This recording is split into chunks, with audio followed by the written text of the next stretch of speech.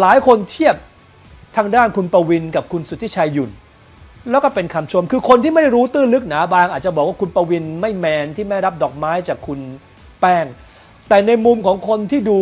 กีฬาเยอะๆ คนที่ดูการเมืองเยอะๆ เนี่ย คุณสุทธิชัยยุนเคยพูดคำหนึ่งว่าประเทศไทยจะก้าวหน้าได้ ถ้าเรากล้าแสดงออก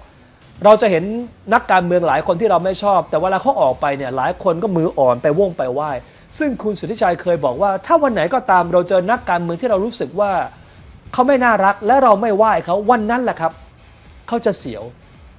เราไม่รู้ตื้นลึกหนาบางว่าเกิดอะไรระหว่างคุณประวินกับคุณนวลพันธ์แต่การที่คุณประวินกล้าเป็นคนแรกที่จะแสดงอาการเหมือนกับไม่ยอมรับ หรือไม่เล่นละครมือไม้อ่อนแบบไทยๆซึ่งทำให้เราไม่ไปไหนเนี่ยจุดนี้ก็มีหลายคนชม นะครับแล้วถ้าเกิดเราให้ความเป็นธรรมกับทางด้านคุณประวินเนี่ยก่อนที่จะไม่รับดอกไม้คุณประวินได้มีการไหว้คุณแป้แล้วก็ทีมงานสองสาครั้งนะแล้วก็มีคนที่บอกว่า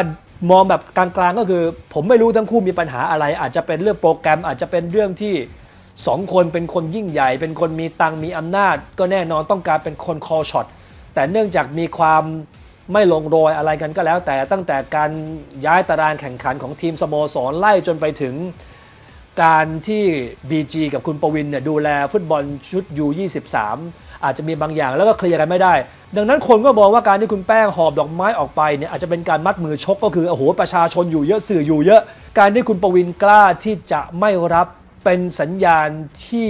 หลายคนชื่นชมในความกล้าหาญของคุณประวิน แล้วถ้าเกิดมีการแสดงออกเลยว่าเขาไม่ชอบแล้วให้คนไปดูว่าไม่ชอบกันเพราะอะไร ให้สื่อไปอินเวสติเกตต่อเพราะอะไร